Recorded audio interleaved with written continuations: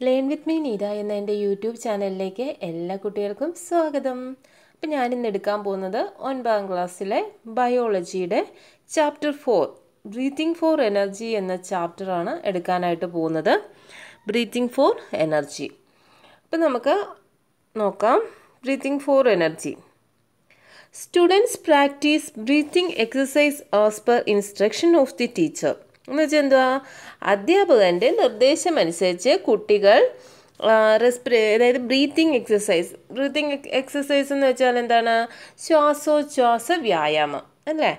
അത് വ്യായാമം ചെയ്യുകയാണ്. ഇവിടെ ഇതേ മേളിൽ കണ്ടോ? കുട്ടികൾ അധ്യാപകം പറഞ്ഞ അനുസരിച്ച് ബ്രീത്തിങ് എക്സസൈസ് ചെയ്യുകയാണ്. Did you notice the message on the sticker how does the availability of energy increase when we breathe deeply? Can you make an assumption note down the assumption in the science diary let us examine whether your, your assumption is right എന്തോ പറഞ്ഞിരിക്കുന്നത് അതായത് നമ്മൾ അധ്യാപകൻ breathing exercise കുട്ടികൾക്ക് കൊടുക്കുക എന്ന് പറഞ്ഞു അതിൽ ഇവിടെ സ്റ്റിക്കറിൽ അവിടെ നിർദ്ദേശം ശ്രദ്ധിച്ചോന്ന് അത് ഗാഠമായി ശ്വസിച്ചാൽ മറ്റേ എനർജി നല്ല ഡീപ്പായിട്ട് നമ്മൾ ബ്രീത്ത് ചെയ്താൽ എനർജി എങ്ങനെയാണ് കൂടുന്നത്? എന്താണ് അതിന്റെ റീസൺ ഇതിന്റെ ഇതിന്റെ ഊഹം. നമുക്ക് എന്താണ് റീസൺ എന്ന് തോന്നുക അത് സയൻസ് ഡയറിയിൽ എഴുതുക. എന്നിട്ട് അത് ശരിയാണോ തെറ്റാണോ എന്ന് പരിശോധിക്കാനാണ് പറയുന്നത്. എന്താ? സ്റ്റിക്കറിൽ എന്താ പറഞ്ഞിരിക്കുന്നത് ടേക്ക് എ ഡീപ്പ് ബ്രീത്ത് എന്താണ്? പരമാവധി ശ്വാസം ഉള്ളിലേക്ക് എടുക്കുക. പിന്നെന്താണ്? വേറെന്താ പറഞ്ഞിരിക്കുന്നത് അത് ടീച്ചർ പറഞ്ഞിരിക്കുകയാണ് പിന്നെ breathe deeply breathe deeply it increase energy level. ഡീപ്പായിട്ട് ശ്വസിക്കൂ. അത് എന്തിന്റെ ഊർജത്തിന്റെ അളവ് കൂട്ടുന്നു എന്ന് നമ്മൾ പറയുന്നുണ്ട്. അതിന്റെ കാരണം എന്താണെന്ന് നമ്മൾ സയൻസ് ഡയറിയിൽ എഴുതാനായിട്ടാണ് പറഞ്ഞിരിക്കുന്നത് നമുക്ക് താഴോട്ട് നോക്കാം. Energy for doing work is released in the cells along with nutrients oxygen is essential for this എന്താണ്? പ്രവൃത്തി ചെയ്യാനുള്ള ഊർജം റിലീസ് ചെയ്യുന്നത് എവിടെയാണ്? കോശങ്ങളിലാണ് സെല്ലിലാണ് അതായത് നമുക്കൊരു ആക്ടിവിറ്റി ചെയ്യാനുള്ള ഊർജം എനർജി റിലീസ് ചെയ്യുന്നത് എവിടെയാണ്? സെല്ലിലാണ് along with nutrients oxygen is essential for this അതിന് എന്താണ് ന്യൂട്രിയൻസിന്റെ ഒപ്പം എന്തും ആവശ്യമാണ്? ഓക്സിജനും ആവശ്യമാണ്. അതായത് എനർജി നമുക്കൊരു ആക്ടിവിറ്റി ചെയ്യാനുള്ള എനർജി എങ്ങോട്ടാണ് റിലീസ് ചെയ്യുന്നത്? സെല്ലിലോട്ടാണ് റിലീസ് ചെയ്യുന്നത്. ഇതിന് എന്തൊക്കെ ആവശ്യമാണ്? ന്യൂട്രിയൻസും ഓക്സിജനും ആവശ്യമാണ്. The respiratory system help to take oxygen from the atmospheric air in to the body അതായത് നമ്മുടെ അന്തരീക്ഷ വായുവിലെ ഓക്സിജനെ ശരീരത്തിലേക്ക് സ്വീകരിക്കാനായിട്ട് സഹായിക്കുന്ന ഏതാണ്? റെസ്പിറേറ്ററി സിസ്റ്റമാണ്. നമ്മുടെ അന്തരീക്ഷത്തിൽ ഉള്ള നമ്മുടെ അറ്റ്മോസ്ഫറിക് അറ്റ്മോസ്ഫറിക് എയറിലുള്ള ഓക്സിജനെ നമ്മുടെ ശരീരത്തിലേക്ക് സ്വീകരിക്കാനായിട്ട് സഹായിക്കുന്ന ഏത് സിസ്റ്റമാണ്? റെസ്പിറേറ്ററി സിസ്റ്റമാണ്. ശ്വസന വ്യവസ്ഥയാണ്. List the part of the respiratory system you know അതായത് റെസ്പിറേറ്ററി സിസ്റ്റത്തിന് നിങ്ങൾക്ക് അറിയാവുന്ന ഭാഗങ്ങൾ പറയാനായിട്ടാണ് പറഞ്ഞിരിക്കുന്നത്. ഒരു മൂന്ന് ഡോട്ട് ഒരു തന്നിട്ടുണ്ട് നിങ്ങൾ അവിടെ നിങ്ങൾക്ക് അറിയാവുന്ന ഭാഗങ്ങൾ എഴുതാനായിട്ടാണ് പറഞ്ഞിരിക്കുന്നത്. ഏതൊക്കെയായിരിക്കും റെസ്പിറേറ്ററി സിസ്റ്റത്തിന്റെ ഭാഗങ്ങൾ? നമുക്ക് പറയാൻ പറ്റും. ഏതൊക്കെയാ? നോസ്ട്രിൽസ് ഉണ്ട് നെയ്സൽ ക്യാവിറ്റി ഉണ്ട് trachea bronchus bronchiole alveoli pleura diaphragm അല്ല? ഇതൊക്കെ എന്തിന്റെ ഭാഗങ്ങളാണ്? റെസ്പിറേറ്ററി സിസ്റ്റത്തിന്റെ ഭാഗങ്ങളാണ്. അപ്പം നമുക്ക് ഇതിനെക്കുറിച്ചൊക്കെ ഡീറ്റെയിൽഡ് ആയിട്ട് നമ്മൾ താഴെ പഠിക്കുന്നുണ്ട്. അപ്പോൾ ഇവിടെ മൂന്നെണ്ണം ഈ മൂന്ന് ഡോട്ടിൽ നിങ്ങൾ എന്ത് എഴുതണം? Nostril nasal cavity trachea bronchus bronchiole alveoli pleura diaphragm. ഇതിലേതെങ്കിലും നിങ്ങൾക്ക് ഇഷ്ടമുള്ളത് എടുത്തെഴുതുക ഇനി നമുക്ക് അടുത്തതിലേക്ക് പോകാം. Based on illustration 4.1, elaborate the list and prepare the tables as given below. എന്തുവാണ്? ആ പറഞ്ഞിരിക്കുന്ന അർത്ഥം എന്താണ്? അതായത് ചി താഴെ തന്നിരിക്കുന്ന ചിത്രീകരണത്തിന്റെ അടിസ്ഥാനത്തിൽ ലിസ്റ്റ് മെച്ചപ്പെടുത്തി ചുവടെ കൊടുത്തിരിക്കുന്ന മാതൃകയിൽ പട്ടിക തയ്യാറാക്കാനായിട്ടാണ് പറഞ്ഞിരിക്കുന്നത്. അത് നമുക്ക് നോക്കാം. Parts of the respiratory system നമ്മൾ നേരത്തെ പറഞ്ഞു parts of the respiratory system ഏതാണ്? ശ്വസന വ്യവസ്ഥയുടെ ഭാഗങ്ങൾ ഏതൊക്കെയാണ്? അതേ താഴെ കൊടുത്തിട്ടുണ്ടല്ലോ നോക്കിയേ. Nostril nasal cavity trachea bronchus bronchiole alveoli പിന്നെ എന്താണ് പ്ലൂറ ഡയഫ്രം ഇതൊക്കെ എന്തിന്റെ ഭാഗമാണ്? പാർട്സ് ഓഫ് റെസ്പിറേറ്ററി സിസ്റ്റമാണ് നമ്മുടെ റെസ്പിറേറ്ററി സിസ്റ്റത്തിന്റെ ഭാഗങ്ങളാണ്. പിന്നെ അപ്പുറത്ത് നോക്കിയേ പെക്യുലാരിറ്റീസ് ആൻഡ് ഫങ്ഷൻ ഇതിന്റെ ധർമ്മം എന്താണ്? ഇതിന്റെ സവിശേഷത എന്താണ്? അതും ഇതിന്റെ ഒപ്പം തന്നെ പറഞ്ഞിട്ടുണ്ട്. നോസ്ട്രലിന്റെ അടിയിലും നെയ്സർ ക്യാവിറ്റിയുടെ അടിയിലൊക്കെ അതിന്റെ ഇത് കൊടുത്തിട്ടുണ്ട്. അല്ലേ? അപ്പം നമുക്കത് ഡീറ്റെയിൽഡായിട്ട് പഠിക്കാം. അപ്പം നിങ്ങൾ പാർട്സ് ഓഫ് റെസ്പിറേറ്ററി സിസ്റ്റം എന്ന് എഴുതിയിട്ട് എന്ത് എഴുതണം? നോസ്റ്റലിൽ എന്ന് എഴുതണം. അതിന്റെ ഫങ്ഷൻസിന്റെ അവിടെ പെക്യുലാരിറ്റീസ് ഫങ്ഷൻസിന്റെ അവിടെ നിങ്ങൾ എന്ത് എഴുതണം? An opening through which air passes in and out of the body അതാണ് അതിന്റെ ഫങ്ഷനായിട്ട് വരുന്നത്. അപ്പം നമുക്ക് ഓരോന്നോരോന്ന് വീതം പഠിക്കാം. നോസ്ട്രിൽ നോസ്ട്രലിന്റെ ഫങ്ഷൻ എന്താണ്? An opening through which air passes in and out of the body എന്ന് വെച്ചാൽ എന്താണ്? നമ്മുടെ ഇതിലെ ശ്വസനവാതകങ്ങൾ ശരീരത്തിനകത്തേക്കും പുറത്തേക്കും കടക്കുന്ന ഭാഗമാണ് ഏത്? നോസ്ട്രിൽ അഥവാ നാസ നാസാദ്വാരം എന്ന് പറയുന്നത്. അതായത് നമ്മുടെ ഓക്സിജന് ഓക്സിജനും കാർബൺ ഡൈ ഓക്സൈഡും ഒക്കെ നമ്മുടെ ശരീരത്തിനുള്ളിൽ ഉള്ളിൽ നിന്ന് പുറത്തേക്കും അകത്തേക്കുമൊക്കെ പ്രവേശിക്കുന്ന ഭാഗമാണ് ഏത്? നോസ്ട്രിൽ എന്ന് പറയുന്നത്. അൻ ഓപ്പണിംഗ് ത്രൂ ഇതൊരു ഓപ്പണിംഗ് ആണ്. ഇത് an opening through which air air passes in and out of the body air ശരീരത്തിനുള്ളിലേക്കും പുറത്തേക്കും എല്ലാം പാസ് ചെയ്യുന്ന പോകുന്ന പാത ഏതാണ്? ആ ഓപ്പണിംഗ് ആണ് ഏത് എന്ന് പറയുന്നത്? നോസ്ട്രിൽ അഥവാ നാസാദ്വാരം എന്ന് പറയുന്നത്. അടുത്തത് nasal cavity what is nasal cavity the cavity which connect the nostrils with the pharynx എന്നതാണ് നമ്മുടെ നോസ്ട്രിൽസിനെയും ഫാരിങ്സിനെയും തമ്മിൽ ബന്ധിപ്പിക്കുന്ന ആ പാത ക്യാവിറ്റിയെ പറയുന്ന പേരാണ് എന്ത്? നെയ്സൽ ക്യാവിറ്റി എന്ന് പറയുന്നത് എന്തിനെയൊക്കെ തമ്മിലാണ്? നോസ്ട്രിൽസിനെയും ഫാരിങ്സിനെയും തമ്മിൽ ബന്ധിപ്പിക്കുന്ന ഫാരിങ്സിന് മലയാളത്തിൽ എന്താ പറയുന്നത്? ഗ്രസനി. ഈ നോസ്ട്രിൽസിനെയും ഫാരിങ്സിനെയും തമ്മിൽ ബന്ധിപ്പിക്കുന്ന ആ ക്യാവിറ്റി അഥവാ ആ പാതയെ പറയുന്ന പേരാണ് എന്ത്? നെയ്സൽ ക്യാവിറ്റി എന്ന് പറയുന്നത്. അപ്പോൾ എന്ത് എന്തൊക്കെ പഠിച്ചു? നോസ്ട്രിൽ എന്താണെന്ന് പഠിച്ചു നെയ്സൽ ക്യാവിറ്റി എന്താണെന്ന് പഠിച്ചു. ഇനി അടുത്തത് എന്താണ്?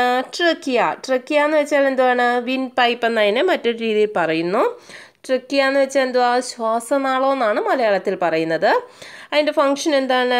അതെന്താണ്? A long tube strengthening by C shaped cartilaginous ring അതായത് സി ആകൃതിയിലുള്ള കാർട്ടിലേജിനസ് എന്ന് വെച്ചാൽ തരുണാസ്ഥി വലയം. മലയാളത്തിൽ തരുണാസ്ഥി വലയം എന്നാണ് പറയുന്നത് കാർട്ടിലേജിനസ് റിങ്ങിനെ കാർട്ടിലേജിനസ് റിങ്ങിനാൽ ബലം ബലപ്പെടുത്തിയ നീണ്ട കുഴലുകളാണ്. ഏത് ഷേപ്പിലാണ് ട്രക്കിയായിരിക്കുന്നത് സി ഷേപ്ഡ് ആണ് കാർട്ടിലേജിനസ് റിങ്ങിനാൽ ബലപ്പെടുത്തിയ എന്താണ്? ഒരു നീണ്ട കുഴലാണ് എന്ത്? ട്രക്കിയ എന്ന് പറയുന്നത് ശ്വാസനാളം എന്ന് പറയുന്നത്. Cartilaginous ring help trachea to remain open always ഈ കാർട്ടിലേജിനസ് റിങ് ഉണ്ടല്ലോ അത് ശ്വാ ഈ ട്രക്കിയ സദാ തുറന്നിരിക്കുന്നതിന് എപ്പോഴും ഓപ്പൺ ചെയ്തിരിക്കാനായിട്ട് ഏത് സഹായിക്കുന്നു? ഈ കാർട്ടിലേജിനസ് റിങ് സഹായിക്കുന്നു. അപ്പം ട്രക്കിയെക്കുറിച്ച് നമ്മൾ എന്താണ് പറഞ്ഞ പഠിച്ചത്? ട്രക്കിയെക്കുറിച്ച് പഠിച്ചത് എന്താണ്? ഇതൊരു സി ഷേപ്ഡ് ആണ്. അത് മാത്രമല്ല ഇത് കാർട്ടിലേജിനസ് റിങ്ങിനാൽ ബലപ്പെടുത്തിയ ഒരു നീണ്ട കുഴൽ സ്ട്രൈറ്റ് സ്ട്രെങ്തൻ സ്ട്രൈറ്റ് സ്ട്രെങ്തനിങ് ഇതാണ് കുഴലാണ്. സ്ട്രെങ്തനിങ് ട്യൂബാണ് ലോങ് ട്യൂബാണ് സ്ട്രെങ്തൻ ആണ്. ബലമുള്ളതാണ്. സി ഷേപ്പാണ് പിന്നെ നമ്മൾ എന്താ പഠിച്ചത്? ഇത് പിന്നെ സദാ ഈ ട്രക്കിയ എപ്പോഴും തുറന്നിരിക്കാൻ കാരണം ഏതാണ്? ഈ കാർട്ടനേജിനസ് റിങ്ങാണ് ഇതിന് കാരണം. മനസ്സിലായോ? ഇനി അടുത്തത് ബ്രോങ്കസ്. ബ്രോങ്കസ് എന്ന് വെച്ചാൽ എന്താണ്? മലയാളത്തിൽ എന്താ പറയുന്നത്? ശ്വസനി എന്ന് പറയുന്നു. ഈ ബ്രോങ്കസിന് എന്താണ് ഫങ്ഷൻ വരുന്നത്? Bronchus of the trachea which enters the lungs എന്ന് വെച്ചാൽ ഇത് ലെങ്സിലേക്ക് അതായത് ഇത് ലെങ്സിലേക്ക് ശ്വാസകോശങ്ങളിലേക്കും പോകുന്ന ശ്വാസനാളത്തിന്റെ ട്രക്കിയയുടെ ശാഖകളാണ്. എവിടെയാ എങ്ങോട്ട് പോകുന്നതാണ്? ലെങ്സിലേക്ക് പോകുന്ന ട്രക്കിയയുടെ ആണ് എങ്ങോട്ട് പോകുന്ന? ലെങ്സിലേക്ക്. ലെങ്സിലേക്ക് പോകുന്ന ട്രക്കിയയുടെ ആണ് ഏത്? ബ്രോങ്കസ് എന്ന് പറയുന്നത്. ഇതെന്ത് ചെയ്യുന്നു? Supported by cartilaginous bronchial rings ഇതെന്ത് ചെയ്യുന്നു? ഇത് ഇവയിലും എന്ത് കാണപ്പെടുന്നു? ഇത് എന്ത് എന്ത് എന്തിനാൽ സപ്പോർട്ടഡ് ആണ്. കാർട്ടനേജിലെ സ്ട്രിങ്ങിനാൽ ഇതും സപ്പോർട്ടഡ് ആണ്. കാർട്ടിലേജിനസ് റിങ് എവിടെയും കാണപ്പെടുന്നു ബ്രോങ്കസിലും കാണപ്പെടുന്നു. ഇതേപോലെ കാർട്ടിലേജിനസ് റിങ് വേറെ എവിടെയാണ് നമ്മൾ കണ്ടത്? ആർക്കാണ് ബലപ്പെടുത്തിയത്? ട്രക്കിയയിലായിരുന്നു അല്ലെ? ലോങ് ട്യൂബ് സ്ട്രെങ്തൻഡ് സ്ട്രെങ്ത് ബലപ്പെടുത്തുന്നു. എന്തിനാൽ? കാർട്ടിലേജിനസ് റിങ്ങിനാൽ എന്ന് നമ്മൾ പഠിച്ചു. അത് ഏതിന്റെ ഫംഗ്ഷൻ ആയിട്ടാണ് നമ്മൾ പഠിച്ചത്? ട്രക്കിയയിലായിരുന്നു പഠിച്ചത് അല്ലേ? അപ്പം ട്രക്കിയയിലും എന്ത് കാണപ്പെടുന്നു? കാർട്ടിലേജിനസ് റിങ് കാണപ്പെടുന്നു. അതുപോലെ തന്നെ ബ്രോങ്കസിലും എന്തുണ്ട്? കാർട്ടിലേജിനസ് റിങ് ഉണ്ട്. ഇനി അടുത്തത് എന്താണ്? ബ്രോങ്കിയോളെ ബ്രോങ്കിയോളെ എന്താണ് സംഭവം? The terminal branches of bronchi that open to the alveoli എന്ന് വെച്ചാൽ എന്താണ്? ബ്രോങ്കിയോളെ അതായത് ആൽവിയോളയുടെ ടെർമിനൽ ബ്രാഞ്ചാണ് ടെർമിനൽ ബ്രാഞ്ച് എന്ന് വെച്ചാൽ അറ്റത്തിരിക്കുന്ന ബ്രാഞ്ച് അതായത് അഗ്രശാഖകൾ എന്ന് പറയും. അതിന്റെ എൻഡിൽ ടിപ്പിൽ ഇരിക്കുന്ന ആ ശാഖകൾ ബ്രാഞ്ചാണ് പറയുന്നത്. അപ്പം എന്തിന്റെയാണ്?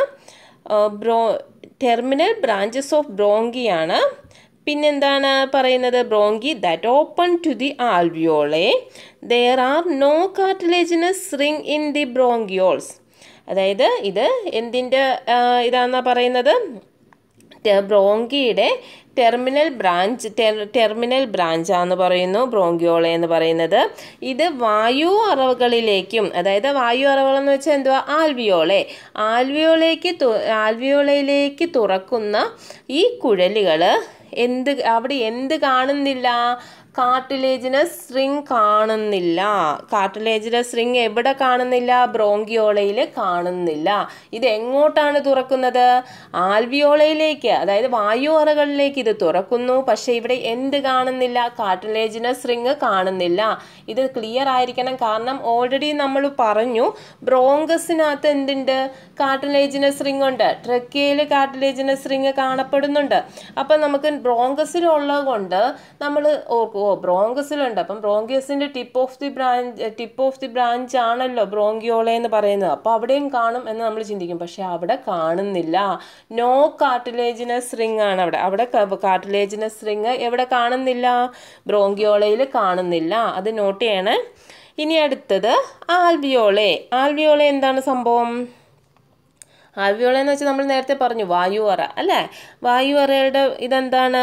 Delicate air sacs elastic in nature seen at the tip of the bronchioles അതായത്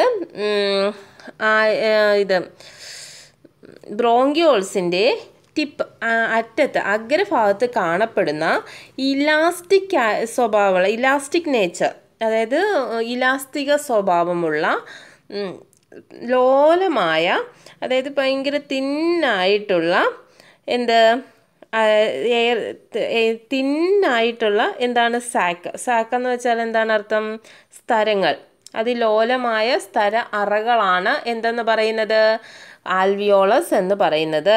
അതായത് ഡെലിക്കേറ്റഡ് എയർ സാക്ക് എന്നുവെച്ചാൽ വളരെ ലോലമായിട്ടുള്ള വായു അറകൾ പിന്നെന്താണ്? ഇലാസ്റ്റിക് നേച്ചർ ഇലാസ്റ്റിക്സിന്റെ ക്യാരക്ടർ സ്വഭാവമുള്ള ഇലാസ്റ്റികത സ്വഭാവമുള്ള seen at the tip of the bronchiole. ബ്രോങ്കിയോൾസിന്റെ അഗ്രഭാഗത്ത് ടിപ്പ് ഭാഗത്ത് കാണപ്പെടുന്നതാണ് എന്ത്? വായു അറകൾ പിന്നെന്താണ്? These air sac are supported by the large number of capillaries ഇത് ഈ എയർ സാക്ക് ഈ ഇത് എന്ത് ചെയ്യുന്നു? ഈ വായു അറകളെ പൊഞ്ഞ് ധാരാളം എന്ത് ചെയ്യുന്നു ഇവിടെ? രക്തലോമികൾ കാണപ്പെടുന്നു. അതായത് ക്യാപ്പിലറീസ് ക്യാപ്പിലറീസ് എന്ന് വെച്ചാൽ രക്തരോമികൾ ഇതിനെ പൊതിഞ്ഞ് ഈ എയർ സാക്ക് ഈ എയർ സാക്കിനെ പൊതിഞ്ഞ് ഒത്തിരി എന്ത് ചെയ്യുന്നു? ക്യാപ്പിലറീസ് കാണപ്പെടുന്നു. ഒത്തിരി ക്യാപ്പിലർ ലാർജ് നമ്പർ ഓഫ് എന്നാണ് പറഞ്ഞിരിക്കുന്നത് അപ്പോൾ ഒത്തിരി ക്യാപ്പിലറീസ് കാണപ്പെടുന്നു. The exchange of gases take place here ഇവിടെ എന്താണ്? വാതക വിനിമയം നടക്കുന്നു ഇവിടെ വെച്ചാണ്. എവിടെ വെച്ച്?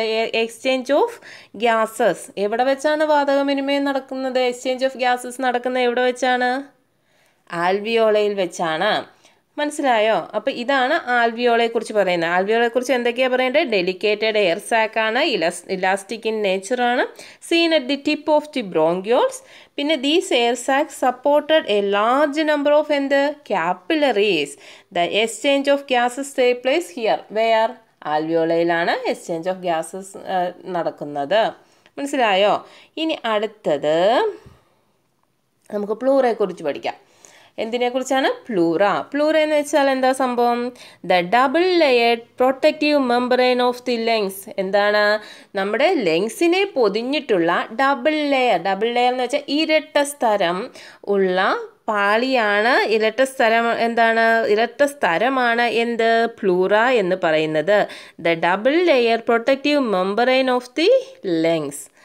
Pleural fluid seen in between the membranous layer prevent the function between lungs and wall of the thoracic cavity എന്ന് വെച്ചാൽ എന്താ ഈ ഡബിൾ മെമ്പറൈൻ എന്ന് പറഞ്ഞല്ലോ ഈ മെമ്പറൈനുകൾക്കിടയിൽ ഒരു പ്ലൂറൽ ഫ്ലൂയിഡ് ഉണ്ട്. ഈ ഫ്ലൂ പ്ലൂറൽ ഫ്ലൂയിഡ് പിന്നെ അതായത് ലെങ്സിനെയും തൊറാസിക് ക്യാവിറ്റിയുടെയും തമ്മിലുള്ള ലെങ്സും തൊറാസിക് ക്യാവിറ്റിയും തമ്മിലുള്ള കഷണം കുറയ്ക്കുകയാണ് ചെയ്യുന്നത്. അതായത് ഫ്രിക്ഷൻ കുറയ്ക്കുകയാണ് ചെയ്യുന്നത്. അപ്പം എന്താണ് നമ്മൾ പറഞ്ഞത്? ഈ ശ്വാസകോ ലെങ്സിനെ പൊതിഞ്ഞിട്ടുള്ള പ്ലൂറ എന്ന് പറയുന്നത് ലെങ്സിനെ പൊതിഞ്ഞിട്ടുള്ള ഒരു ഡബിൾ മെമ്പറൈൻ ആണ്. ഈ ഡബിൾ മെമ്പറൈൻ എന്തിനാണ് ഹെൽപ്പ് ഈ ഡബിൾ മെമ്പറൈന്റെ ഇടയ്ക്കുള്ള തൊറ ഫ്ലൂയിഡ് ഫ്ലൂ പ്ലൂറൽ ഫ്ലൂയിഡ് എന്തിനെ സഹായിക്കുന്നു? തൊറാസിക് ക്യാവിറ്റിയെയും ലെങ്സിന്റെയും ഇടയിലുള്ള ഫിത്തികൾ തമ്മിലുള്ള ഫ്രിക്ഷൻ ഫ്രിക്ഷൻ എന്ന് വെച്ചാൽ കർഷണം ഈ കർഷണം കുറയ്ക്കുവാനായിട്ടാണ് സഹായിക്കുന്നത്. മനസ്സിലായോ? അപ്പം ഇത് എന്തിന്റെ ഫംഗ്ഷനാണ് ഇപ്പം പറഞ്ഞേ? കർഷണം കുറയ്ക്കാൻ സഹായിക്കുന്നു എന്ന് പറഞ്ഞാൽ എന്തിന്റെ ഫംഗ്ഷനാണ് പ്ലൂറൽ ഫ്ലൂയിഡിന്റെ ഫംഗ്ഷനാണ് നമ്മൾ പറഞ്ഞത്. എന്തിന്റെ ഇടയ്ക്കുള്ള? ഡബിൾ മെമ്പറൈന് ഇടയ്ക്കുള്ള. എവിടെയുള്ള? ലെങ്സിനെ പൊതിഞ്ഞിട്ടുള്ള. അല്ലേ? അപ്പം ഇതാണ് പ്ലൂറയെക്കുറിച്ച് നമ്മൾ പഠിക്കുന്നത്. നമ്മളെപ്പോഴും ഒരു ഒരു ഡെഫിനിഷൻ പഠിക്കുമ്പോൾ അതിന്റെ ഓരോ അതിൽ തന്നെ ഓരോ ക്വസ്റ്റ്യൻ പരസ് തമ്മിൽ തമ്മിൽ ചോദിക്കുക. എന്താണ് എന്താണ് എന്താണെന്ന് ചോദിക്കുക. അങ്ങനെ പഠിക്കുക. അതാകുമ്പോൾ നമ്മൾ ഒരിക്കലും മറക്കില്ല. ഇപ്പം ഞാൻ പറഞ്ഞില്ലേ ലെങ്സിനെ പൊതിഞ്ഞിട്ടുള്ള ഡബിൾ മെമ്പറൈനാണ് അപ്പം നമ്മൾ ഇങ്ങനെ നോക്കണം. ആരെ പൊതിഞ്ഞിട്ടുള്ള ഡബിൾ മെമ്പറൈൻ ലെങ്സിനെ ലെങ്സിനെ പൊതിഞ്ഞിട്ടുള്ള എങ്ങനെയുള്ള മെമ്പറൈനാണ് ഡബിൾ മെമ്പറൈൻ അങ്ങനെ നമ്മൾ നമ്മൾ നമുക്ക് തന്നെ ചോദ്യങ്ങൾ ചോദിച്ച് ചോദിച്ച് അതിന്റെ ആൻസർ കണ്ടുപിടിച്ച് പഠിച്ച് പഠിക്കുക. അപ്പോൾ നമ്മൾ ഒരിക്കലും മറക്കത്തില്ല. ഇനി അടുത്ത നമ്മൾ എന്തിനെക്കുറിച്ചാണ് പഠിക്കേണ്ടത്? ഡയഫ്രത്തെക്കുറിച്ചാണ് പഠിക്കേണ്ടത്. എന്താ ഡയഫ്രം ഡയഫ്രോ എന്ന് വെച്ചാൽ the muscular wall that separate the thoracic and abdominal cavity അതായത് തൊറാസിക്കിന്റെയും അബ്ഡോമിനൽ ക്യാവിറ്റിയും തമ്മിൽ വേർതിരിക്കുന്ന മസ്കുലാർ വോൾ മസ്കുലാർ വോൾ എന്ന് വെച്ചാൽ എന്തോ പേശി. പേശി വോൾ പേശികൾ നിർമ്മിതമായ പേശികൾ കൊണ്ട് നിർമ്മിതമായ ഭിത്തി. അതായത് അതാണ് ഡയഫ്രം ഡയഫ്രം എന്ന് വെച്ചാൽ എന്തോ ഒന്നുമില്ല. ഈസി അല്ലേ? തൊറാസിക് ക്യാവിറ്റിയെയും അബ്ഡോമിനൽ ക്യാവിറ്റിയെയും തമ്മിൽ വേർതിരിക്കുന്ന പേശി നിർമ്മിതമായ മസിൽ വോളാണ് മസ്കുലാർ വോളാണ് എന്തെന്ന് പറയുന്നത്? ഡയഫ്രം എന്ന് പറയുന്നത്. അപ്പം നമ്മൾ ഇതിനെക്കുറിച്ച് ഏകദേശം കഴിഞ്ഞില്ലേ? എന്താണ് പാർട്സ് ഓഫ് റെസ്പിറേറ്ററി സിസ്റ്റം കഴിഞ്ഞില്ലേ? എന്തൊക്കെയാ പാർട്സ് ഓഫ് റെസ്പിറേറ്ററി സിസ്റ്റം എന്നാണ് പറഞ്ഞത്? Nostril nasal cavity trachea bronchus bronchiole alveoli pleura and diaphragm. പിന്നെ അതിന്റെ ഫംഗ്ഷനും പഠിച്ചില്ലേ അപ്പോൾ ഇതിലെന്തെങ്കിലും ഡൗട്ട് നിങ്ങൾക്ക് തോന്നുകയാണെങ്കിൽ നിങ്ങൾക്ക് കമന്റായിട്ട് ചോദിക്കാവുന്നതാണ്. ഇനി നമുക്ക് അടുത്ത പേജിലേക്ക് പോകാം. അടുത്ത എന്താണ് വരുന്നത്? Respiratory tract is a pathway of atmospheric air from the nostril to the alveoli എന്താണ് പറഞ്ഞിരിക്കുന്നത് അതായത് നോസ്ട്രിയോൾ മുതൽ ആൽവിയോളെ വരെ കടന്നു പോകുന്ന അറ്റ്മോസ്ഫിയറിക് എയറിന്റെ ഒരു പാത്താണ് റെസ്പിറേറ്ററി ട്രാക്ട് എന്താണ് റെസ്പിറേറ്ററി ട്രാക്ട് എന്ന് വെച്ചാൽ ഇത്രയേ ഉള്ളൂ. നമ്മുടെ നോസ്ട്രിൽ നോസ്ട്രിൽ തൊട്ട് ആൽവിയോളെ വരെ വരെ പോകുന്ന ഒരു പാത്വേ അറ്റ്മോസ്ഫിയറിക് എയർ കടന്നു പോകുന്ന ഒരു പാത്വേ ആണ് എന്തെന്ന് പറയുന്നത്? റെസ്പിറേറ്ററി ട്രാക്ട് എന്ന് പറയുന്നത്. Analyse ലുട്രഷ് four point one and complete the pathway of air അതായത് ഇവിടെ താഴെ തന്നിരിക്കുന്ന അത് വിശകലനം ചെയ്തിട്ട് അതിന്റെ സഞ്ചാരപാത ചിത്രീകരിക്കാനായിട്ടാണ് പറഞ്ഞിരിക്കുന്നത്. അപ്പം നമുക്ക് തന്നിട്ടുണ്ട് നോസ്ട്രിൽ നമ്മൾ ആദ്യമേ നമ്മൾ respiratory parts of respiratory tract and അതിന്റെ ഫംഗ്ഷൻ നമ്മൾ പഠിച്ചപ്പം നമ്മൾ ആദ്യം പഠിച്ചത് എന്താണ്? നോസ്റ്റലാണ് അല്ലേ? നോസ്റ്റലിന്റെ ഫംഗ്ഷൻ എന്താണ് പറഞ്ഞത്? ഉള്ളിലേക്കും പുറത്തേക്കും എയർ അറ്റ്മോസ്ഫിയറിക് എയറിന്റെ പാസ് ഒന്റെ ഓപ്പണിംഗ് ആണ് നോസ്ട്രിൽ കടന്നു പോകാനുള്ള ഓപ്പണിംഗ് ആണ് നോസ്ട്രിൽ എന്ന് പറഞ്ഞ് നമ്മൾ അതിന്റെ ഫംഗ്ഷൻ പഠിച്ചു. അല്ലേ? അപ്പം ഇവിടെ ആദ്യം നമുക്ക് തന്നിട്ടുണ്ട് നോസ്ട്രില നോസ്ട്രില കഴിഞ്ഞിട്ട് എന്താണ്? അടുത്ത് അവിടുന്ന് ആ എയർ പാസ് ചെയ്യുന്നത് എങ്ങനെയൊക്കെയാണ് അത് പോകുന്നത്? നോസ്ട്രിൽ കഴിഞ്ഞാൽ അടുത്ത എവിടെയാണ്? നെയ്സൽ ക്യാവിറ്റി അല്ലേ? അടുത്ത വരുന്നത് നെയ്സൽ ക്യാവിറ്റി. നെയ്സൽ ക്യാവിറ്റിയിൽ നിന്ന് ട്രക്കിയയിലേക്ക് പോകും ട്രക്കിയയിൽ നിന്ന് എങ്ങോട്ട് പോകും ബ്രോങ്കസിലേക്ക് പോകും ബ്രോങ്കസിൽ നിന്ന് എങ്ങോട്ട് പോകും ബ്രോങ്കിയോളെ. ബ്രോങ്കിയോളയിൽ നിന്ന് എങ്ങോട്ടാണ്? ആൽവിയോളെ. ആൽവിയോളയിൽ നിന്ന് എങ്ങോട്ടാണ്? പ്ലൂറ പ്ലൂറ നിന്ന് എങ്ങോട്ടാണ് ഡയഫ്രം ഇതാണ് സഞ്ചാരപാതയായിട്ട് വരുന്നത്. നമ്മൾ നേരത്തെ ആ പഠിച്ച അതേ ഓർഡർ തന്നെയാണ് വരുന്നത് ഒന്നോടെ പറയാം. Nostril nasal cavity trachea bronchus ബ്രോങ്കിയോ bronchiole alveoli pleura പിന്നെ ലാസ്റ്റ് എന്താ വരുന്നത്? ഡയഫ്രം മനസ്സിലായോ? ഇനി അടുത്തത് atmospheric air into the lungs അതായത് അറ്റ്മോസ്ഫിയറിക് എയർ അന്തരീക്ഷ വായു ലങ്സിലേക്ക് ശ്വാസകോശത്തിലേക്ക്. Breathing is a process that take place without our knowledge during with the air is taken in and expel എന്ന് വെച്ചാൽ എന്തുവാ?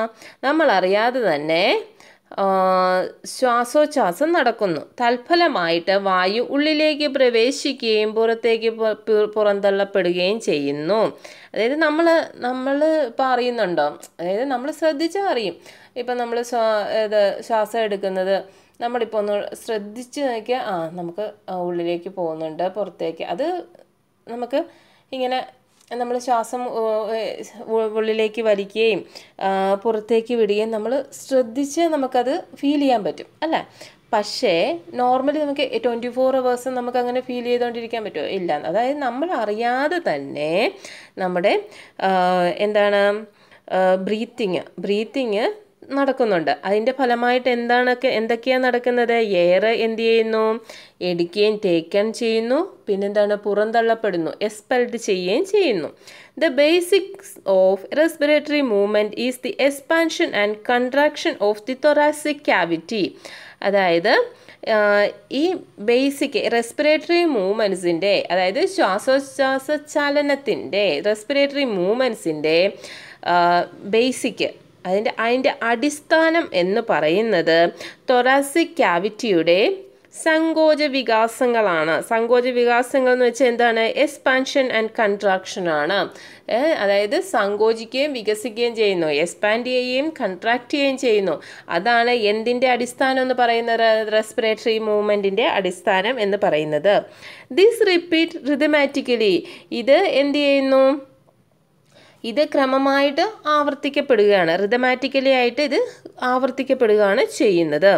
With the increase in size of the thoracic cavity air enters the lungs this is called inspiration എന്താണ് inspiration എന്ന് പറഞ്ഞാൽ അതായത് നമ്മൾ thoracic cavity വികസിക്കുമ്പോഴത്തേക്ക്.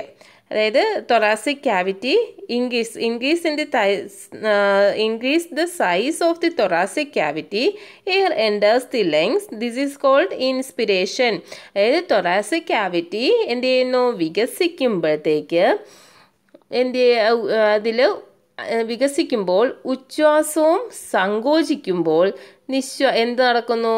Inspiration നടക്കുന്നു. എങ്ങനെയാണ് ഇൻസ്പിരേഷൻ നടക്കുന്നതെന്നാണ് പറയുന്നത്? നമ്മൾ പഠിച്ചു വിത്ത് ദ ഇങ്കി അതായത് ദ റിപ്പീറ്റ് റിതമാറ്റിക്കലി എന്താണ് repeat റിതമാ respiratory movement respiratory movement is the expansion and contraction of the thoracic cavity. This rhythm this repeat rhythmatically with the increase in the size of the thoracic cavity.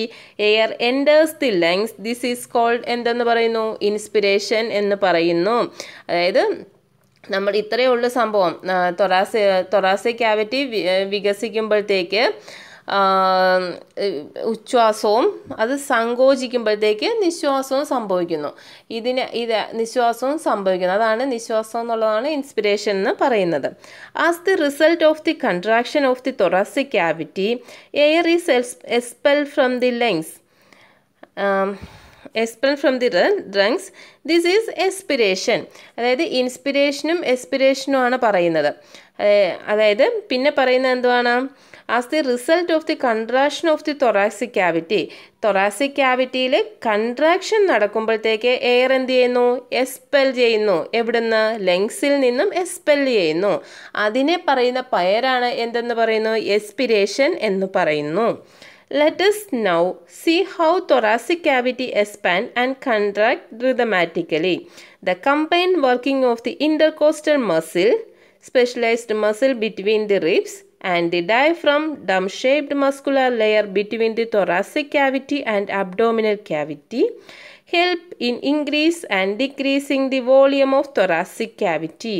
എന്തുവാ പറയുന്നത് കുറേയൊക്കെ പറയുന്നുണ്ട് എന്താ അല്ലേ അതായത് thoracic ക്യാവിറ്റിയുടെയും നമ്മൾ പറഞ്ഞത് കമ്പൈൻ വർക്കിംഗ് ഇന്റർകോസ്റ്റൽ മസിൽ അതായത് തൊറാസിക് ക്യാവിറ്റിയുടെയും പിന്നെ മറ്റേ ഇന്റർകോസ്റ്റ് തൊറാസിക് ക്യാവിറ്റിയെയും ഉദരാശയത്തെയും ഉദരാശയത്തെയും തമ്മിൽ എവിടെയാണ് ഞാൻ വായിക്കുന്നത് അയ്യോ. ഇന്റർകോസ്റ്റൽ മസിൽ ഡയഫ്രം അതായത് ഡയഫ്രത്തെയും തൊറാസിക് ക്യാവിറ്റിയെയും തമ്മിൽ വേർതിരിക്കുന്ന വേർതിരിക്ക വേർതിരിക്കുന്ന വേ ഓ എല്ലാം കൂടെ.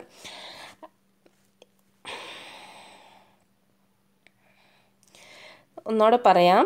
നമ്മുടെ തൊറാസി തൊറാസിക് ക്യാവിറ്റിയെയും ഉദരാശയത്തെയും തമ്മിൽ വേർതിരി വേർതിരിക്കുന്ന ഡയഫ്രം എന്ന മസ്കുലാർ ഒരു മസ്കുലാർ വോളുണ്ട് ആ അത് മസ്കുലാർ വോളിന്റെയും ഇന്റർകോസ്റ്റൽ മസിൽ എന്നറിയപ്പെടുന്ന ഈ തൊറാസിക് ക്യാവിറ്റിയിൽ ഇടയിലുള്ള പേശികളുടെയും പ്രവർത്തനമാണ്. ഇവ തമ്മിൽ കൂടിച്ചേർന്നുള്ള പ്രവർത്തനമാണ്.